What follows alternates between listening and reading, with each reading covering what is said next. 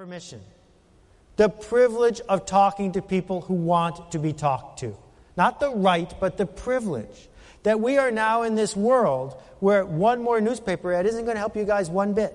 We're in this world where one more kilowatt of electricity delivered flawlessly will not help you one bit. Instead, the only way you're going to be able to grow is by delivering anticipated, personal, and relevant messages to people who want to get them. Right? Two ways to get married.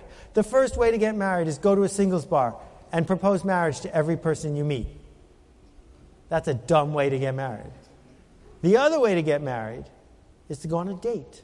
If it goes well, go on another date. Wait till the third date before you tell them you're out on parole. And then you meet their parents, they meet your parents, you get engaged, you get married. It worked for me. Maybe it worked for you. So why aren't you guys dating your prospects? Why isn't the place organized around this notion that you can earn the privilege of telling your story to people who want to hear it?